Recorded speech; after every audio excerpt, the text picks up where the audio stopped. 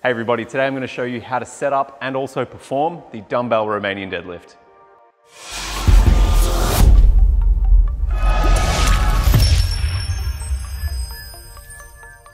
Similar to other deadlifts that we have done, feet are gonna be directly over your hips. If you want, you can go a little bit wider and point the toes out ever so slightly so that you can get your knees out and get those glutes engaged. So once you've got your feet in the right position, all you need to do, walk up, roll them back, take your baby steps backwards, and then get yourself set up from there.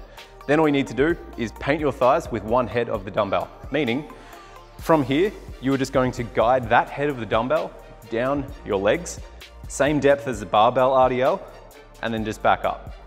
So all you really need to focus on from there is making sure the dumbbells don't swing away from your body as you go down.